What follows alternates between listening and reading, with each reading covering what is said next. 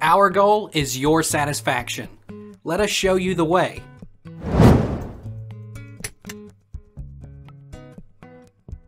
Are AirPods linked to iCloud?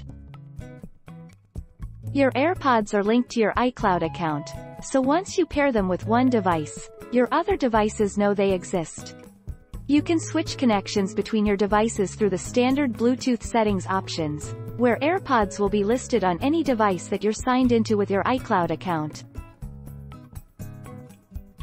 How do I unregister my AirPods? Unpair AirPods. On iPhone, iPad or iPod Touch. Go to Settings, Bluetooth, then tap. Next to your AirPods. On Apple Watch. Go to the Settings app, Bluetooth, tap. On Mac. Choose Apple menu, System Preferences. Click Bluetooth. Control click your AirPods, then choose Disconnect. How do I change my iCloud account on AirPods? However, the AirPods can only be linked to one, owner, iCloud account at a time.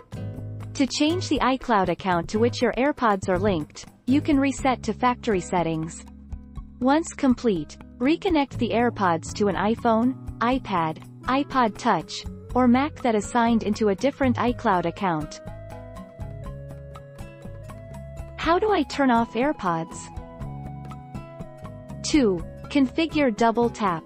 Go to Settings, Bluetooth greater than tap on I icon located next to your AirPods.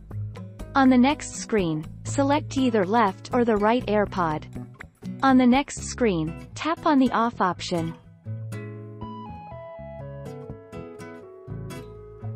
Take our lead. Let's help you make your mark.